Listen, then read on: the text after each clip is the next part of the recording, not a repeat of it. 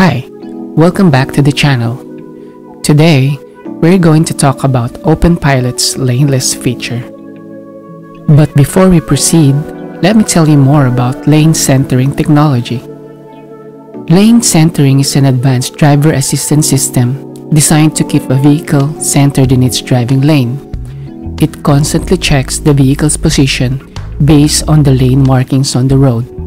Together with adaptive cruise control, this technology holds the potential to save thousands of lives on the road while driving because it lessens human driving error.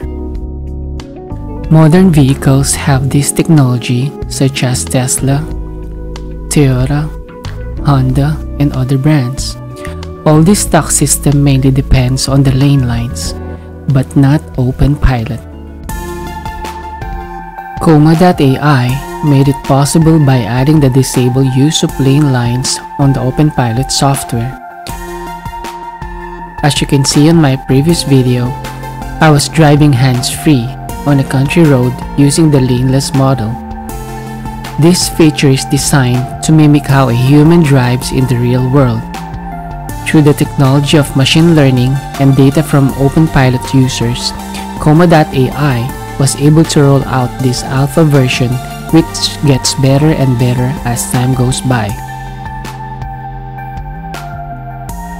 Driving in the center lane isn't really ideal, especially when driving in two-lane roads. We would rather drive near the right line to be more safe and to avoid big trucks.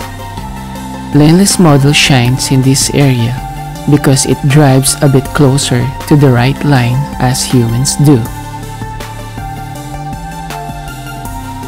According to Comma AI, soon we will see more features from OpenPilot such as reading stop signs, stop lights, and hopefully end-to-end -end navigation. If you like this video, please like and subscribe.